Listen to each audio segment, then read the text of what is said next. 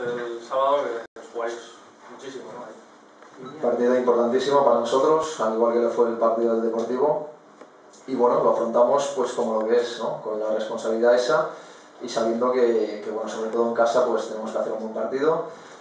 Intentar pues sacar los tres puntos, ¿no? Para nosotros serían muy importantes, nos daría pues impulso, autoestima, confianza y esperemos poder, poder hacerlo. Se va a hablar mucho de aquí al final de temporada, de partidos decisivos, finales, partidos muy importantes, pero quizá estos dos que vienen ahora pueden marcar un poquito hacia dónde puede ir Osasuna en, en lo que queda de liga.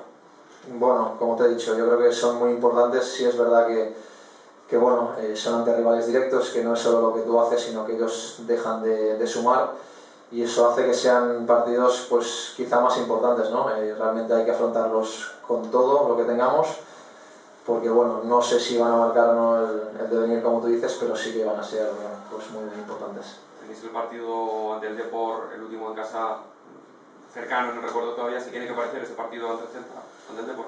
Sí, por lo menos en intención, en intensidad, en, en, lo que esté en nuestra mano, pues, pues intentar salir pues, con todo, eh, sabiendo que jugamos en casa, ante nuestra gente que nos, va, que nos va a apoyar, que va a estar con nosotros y bueno, intentar hacer pues que el reino sea pues en esta segunda vuelta muy muy importante, decisivo, que se vayan muy poquitos puntos, yo creo que tiene que ser un poco la consigna y, el objetivo.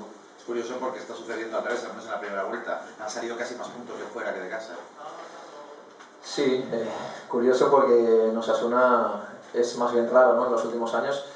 Yo creo que es muy importante, sobre todo ser fuertes en casa, que lo he repetido muchas veces y en esta segunda vuelta pues para el futuro del equipo pues será, será.